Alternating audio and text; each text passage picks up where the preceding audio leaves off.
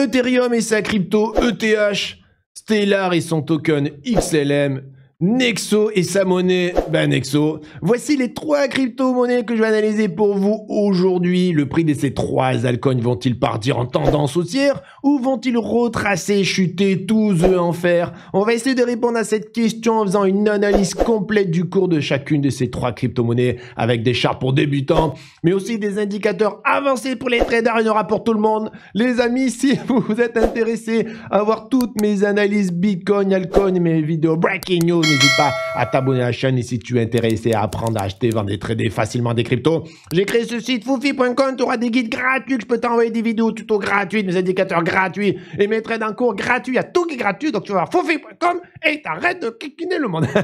Les amis, on va regarder tout ça, vous invite à prendre le petit pouce bleu et pépé, lui taper ces petites fesses nettes et je vous invite à prendre le bouton s'abonner à la chaîne à Foufi. Et je veux que tout le monde s'abonne à la chaîne à Foufi.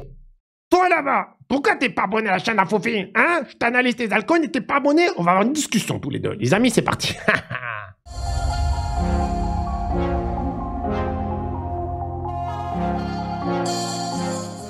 Bonjour les amis, j'espère que vous allez bien, que vous avez la forme, que vous avez la patate. Très heureux de vous retrouver pour cette vidéo Alcon News de ce lundi 3 juillet 2023. J'analyse pour vous les amis les alcons que vous me demandez en commentaire. Non, n'hésite pas à mettre en commentaire les alcons que tu veux que j'analyse demain. Si t'es gentil, je le ferai. Premier alcon comme d'habitude que vous voulez tous les jours, le TH avec sa petite euh, crypto-monnaie ETH tout simplement. Aujourd'hui à 1958 dollars. Il y a deux semaines, c'était splendide. La semaine dernière, une bougie verte qui a tester la Tenkane qui est reparti.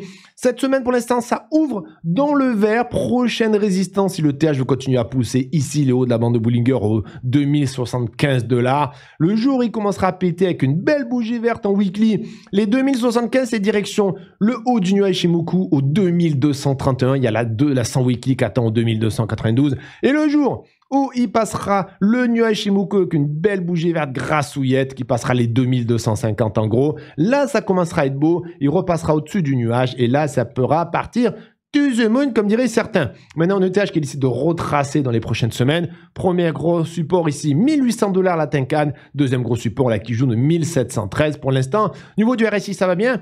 Niveau du MACD, on a croisé, enfin bon, le croisement bullish se fera dimanche si jamais ça reste une bougie verte. On va voir si ça va avoir un momentum agressif comme ça ou si les boules finalement ils vont un petit peu rien faire. Réponse à la fin de la semaine. Au niveau du daily maintenant à droite avec des indicateurs aussi un peu poussés. Donc là c'est très beau. Aujourd'hui en daily le, TH est passé au-dessus du Nuai Shimoku. Nuai Shimoku qui lui disait non depuis pas mal de temps, depuis deux grosses semaines. Aujourd'hui ça y est, il passe au-dessus du nuage. Il a cassé les 1940 dollars. Maintenant prochaine résistance il veut pousser la bande super de Bullinger au 2018 dollars. Et s'il propose une belle bougie verte qui éclate les 2018, la Zebarti tous eux ben 2060 76, voire même les 2200. Donc pour là, c'est scénario plutôt boule, sachant que le RSI, on est loin de la zone de surachat, donc il pourrait encore pousser, et les boules ont toujours momentum en main. Donc, il pourrait continuer à pousser et aller chercher, pourquoi pas, les 2100, 2002. Ça, reste très possible. Maintenant, une tâche qu'elle décide de retracer dans les prochains jours. Prochaine résistance, la Tenkan Daily au 1897. Après, il y a la 100 Daily, la 50 Daily qui sont là vers les 1850 dollars. La Kijun attend ici aux 1800 dollars. Et perdre la 1800, la Kijun, c'est direction la zone de rechargement de longue qui est située entre les 1692 et les 1746. Sachant qu'au 1692, tu as aussi la 200 Daily qui attend. Donc, pour l'instant, la charte de l'ETH devant nous est plutôt jolie. Donc, on va voir ce qu'il va nous proposer dans les prochains jours. On passe à la deuxième crypto que vous avez choisi, vous, en commentaire, qui est tout simplement le Stellar avec sa crypto XLM. L'XLM, on peut voir qu'il a pris sa grosse cartouche comme tout le monde. On est bien en bear market. Hein. Là, c'est bien des chartes de bear market où genre, tu tombes, tu tombes et ya, et après tu t'enfonces. Maintenant, on va rajouter euh, tous les indicateurs pour voir ce qu'il nous dit en long terme. Ici à gauche, on est en weekly. On va regarder ce que le, sur les prochaines semaines, les prochains il pourrait nous proposer. Donc XLM qui a poussé ces deux semaines assez violemment. Hein. En deux semaines, il a pris 35%. Si on prend la mèche, il est même monté jusqu'à 50%. Ça a été assez violent. Alors, il s'est fait rejeter par la bande supérieure de Bullinger ici, à peu près dans les 10 centimes, qui lui a dit non. Cette semaine, lui, tu vois, il est un petit peu rouge, là où ben, le Bitcoin, le TH font du vert, euh, lui, fait du rouge. Après, il a le droit de retracer aussi ses deux bougies de la semaine dernière. Donc, scénario boule. Dans les prochaines semaines, une belle bougie verte qui éclate les 11 centimes. Et là, c'est parti pour attaquer le nuage Shimoku avec une résistance la plus puissante vers les 16 centimes. Ça, c'est scénario boule. Scénario Bear, il a décidé de retracer les deux dernières semaines qu'il a fait avant. Dans ce cas-là, il ira chercher ce trio de supports ici, la moyenne mobile 50 weekly, la Tenkan weekly, la Kijun weekly, qui sont tous ici vers les 0,096. Et il faut surtout pas perdre ces 0,096. Sinon, c'est la porte ouverte à retater les enfers ici au 0,08. Pour l'instant, au niveau du RSI, on est au-dessus des 52 RSI, donc ça va. Le jour où il perdra les 52 RSI, là, ça plus. Au niveau du MACD, les boules momentum en main. Par contre, la bonne grosse divergence, c'est que le prix, tu vois, un peu, il est monté et le MACD est descendu. Donc, il vaut vers même un petit peu à Dungeon. Alors, à droite, on a l'analyse du Stellar en daily, savoir ce qu'il peut faire ces prochains jours. Alors, il décide de retracer un peu, c'est normal si on prend la belle poussée qu'il a faite et qu'on tire les Fibonacci. On peut voir que il est passé le premier arrêt, les 23,6 de Fibonacci. Donc théoriquement, c'est direction le deuxième arrêt, les 38,2 au 10 centimes pile poil. Alors scénario boule, il retrace, il va chercher ici les 10 centimes, 0,16 exactement, et après il repart et continue sa tendance haussière, il va refaire un nouveau plus haut. Ça c'est scénario boule.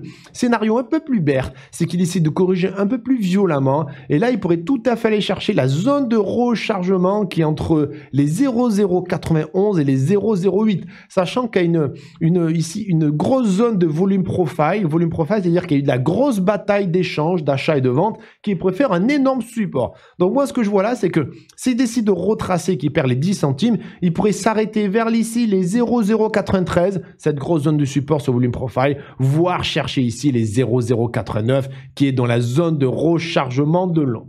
Ça, scénario, plutôt. On verra bien s'il perd les 10 centimes ou pas. On, sait qu'il va retracer parce qu'il est rentré en zone de surachat sur le RSI en daily pendant pas mal de temps. Donc il faut bien qu'il dégonfle un petit peu, qu'il respire un peu pour pouvoir repartir encore plus fort. C'est l'idée. Donc là, je pense que le Stellar va un petit peu dégonfler son RSI, il va peut-être dégonfler un peu son MACD, il va aller chercher les 10 centimes, voire pourquoi pas vers les 9 centimes, et là on verra bien. Alors par contre, s'il commence à perdre les 0,084, c'est redirection, la minimum, les 0,075.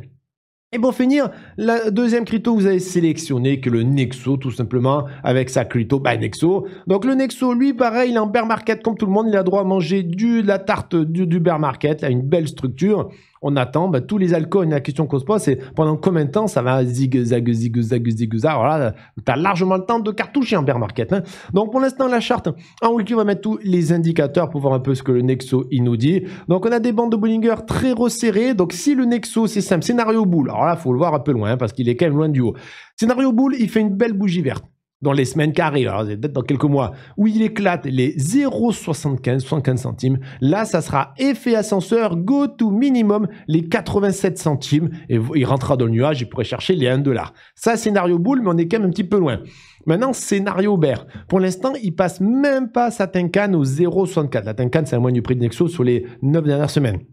Il n'arrive même pas à passer sa Tenkan. Pour qu'il soit un minimum boule, il faudrait passer les 64 centimes. Et là, il pourrait essayer de s'attaquer aux 74 centimes. Bon, pour l'instant, il, ne prend pas sa Tenkan. Donc, scénario bear, il se fait rejeter par la Tenkan. Il retate la bande inférieure de Bollinger aux 58 centimes. Et il suffit d'une bougie verte, euh, ou rouge, pardon, bien grassouillette, qui éclate les 58 centimes. Et là, c'est direction, bim, effet toboggan, tous par terre. Tout simplement. Il y aura peut-être d'espoir de retester ici le bas de la mèche aux 55 s'il veut chercher de la liquidité sous les 55 centimes. Sachant que pour la RSI, en weekly, il est sous les 50 RSI, donc c'est pas le plus bullish. Et sur le MACD, on voit que les boules, ah, ben les boules, ils fatiguent depuis très longtemps. Les boules, depuis septembre, octobre 2022, les boules, ils fatiguent sur le Nexo. Donc pour l'instant, en weekly, c'est pas l'asset le plus bullish du monde. En daily, maintenant, sur les prochains jours, qu'est-ce qui peut arriver? Alors, pour l'instant, il est coincé entre sa Kijun Daily, qui est la moyenne du prix Nexo sur les 26 derniers jours, et sa Tenkan Daily, qui est la moyenne du prix Nexo sur les 9 derniers jours. Donc, scénario bear, c'est quoi ben, Il perd sa Kijun aux 62 centimes avec une bougie rouge, et là, c'est les directions de la bande inférieure de Bollinger aux 59 centimes, et éclaté avec une bougie rouge les 59 centimes, sa bande inférieure de Bollinger, ça fera effet toboggan, et bam, bam, bam, bam, et là, ça risque de picoter du nez.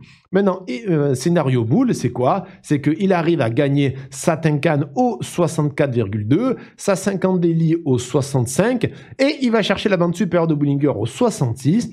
Et s'il fait une belle bougie verte qui éclate les 66 centimes, ça fera un joli petit effet ascenseur. Il essaiera d'aller chercher sa grosse résistance qui est le nuage Shimoku vers les 68. Et s'il arrive à passer au-dessus de 68, il passe au-dessus du nuage, ça sera beau. Là où vous verrez Adonzion, c'est qu'ici, il y a une grosse zone de volume profile. Ça fera une grosse résistance ici vers les 67 centimes. Ça sera pas facile à passer pour lui. Aujourd'hui, s'il fait un peu de vert, il passe au-dessus des 52 RSI, donc ça sera une bonne nouvelle s'il clôture dans ces zones-là. Et par, contre, au niveau du MACD, on voit que les boules commencent à fatiguer un petit peu, donc il faut faire attention. Voilà pour l'analyse Alcon aujourd'hui, les amis. N'hésitez pas à me mettre en commentaire les Alcon que vous voulez que j'analyse demain, après-demain. Je vous affiche ici la dernière vidéo que j'ai envoyée sur la chaîne. Je fais des gros bisous, je vous dis à demain, bye bye.